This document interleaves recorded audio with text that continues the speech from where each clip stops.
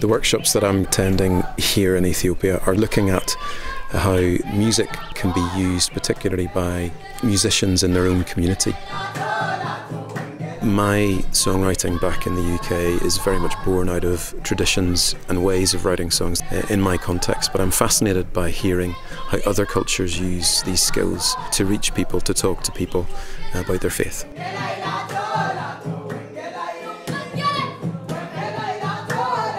I get to collaborate with these musicians, sharing our traditions and understanding each other's cultures and maybe creating some new material around it.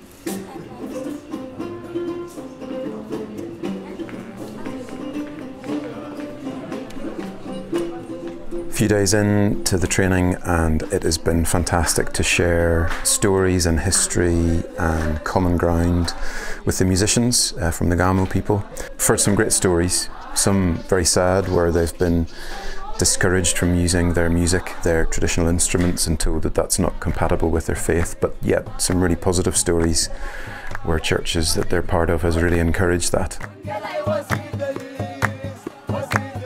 During the session so far, I've really learned how important it is for people who don't necessarily have the whole of the Bible in their language to look at all kinds of ways to communicate that message. And music is such a powerful thing, it can bypass a lot of barriers. The Gamo musicians have a lot of talent and they're putting together these songs to tell stories about God's Word uh, to people whose only way of, of hearing it, it might be through the songs.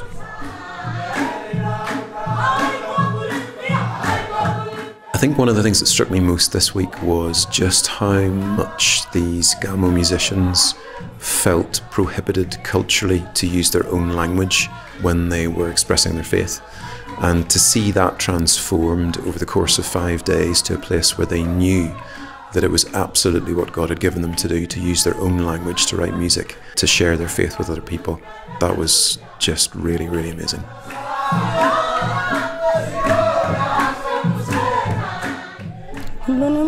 ጋሞ ያላቸው አካባቢ ሰዎቹን ያው በደንብ ይጠቅማል። በቋንቋ ሁሉ መጥቶ ቋንቋውን ላይ ትኩረት ሰጥቶ ስልጠና ወስደዋል። ስለዚህ በቋንቋችን ኩራት ይሰማል። ከዛ የተበለጠ የአገራችን ማስተማር በደንብ እንትኑ ስላለ በጣም ደስተኛ ነኝ። ኩራት ይሰማኛል።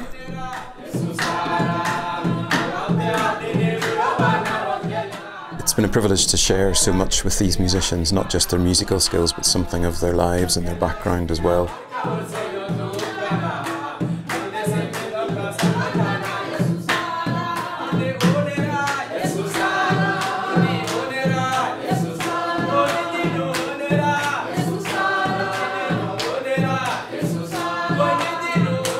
It was a beautiful place, just the most incredible scenery and wildlife.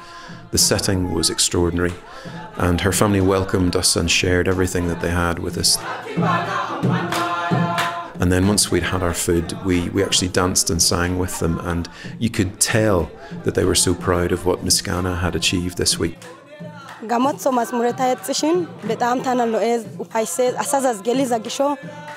gamo asa gamo nu nu tana For me to stand beside her father while Miskana sang her songs in front of him was a really special moment.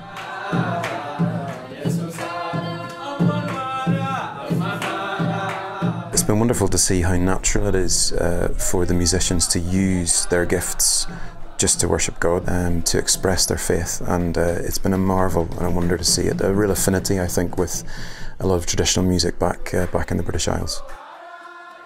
Being here in Ethiopia, the sights, the sounds, the smells, the people, um, has been an extraordinary experience.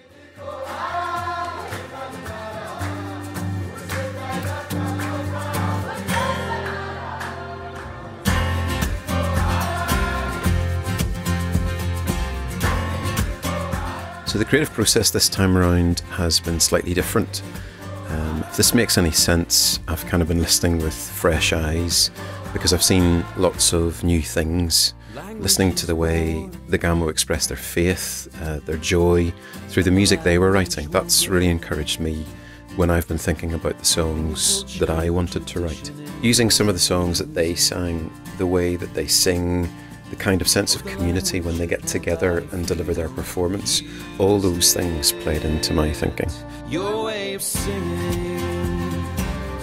The overwhelming sense that I have making these songs come to life is that sense of gratitude for being out there and having had the experience of working with the Gamo, seeing what they saw and experiencing their joy as they realised it's a great thing, it's a, it's a blessed thing, it's a God given thing to sing and to play music in your own language.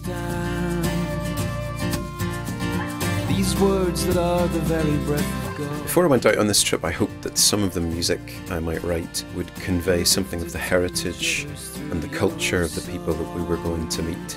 In some ways, I hope that we've achieved that by fusing some of the music we've recorded and putting it together with some of the music that I've written.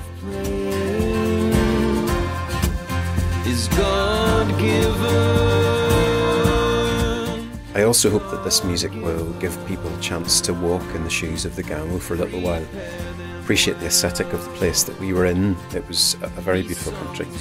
But also just appreciate some of the wonder and the joy that they approach life with and the richness of their culture and tradition.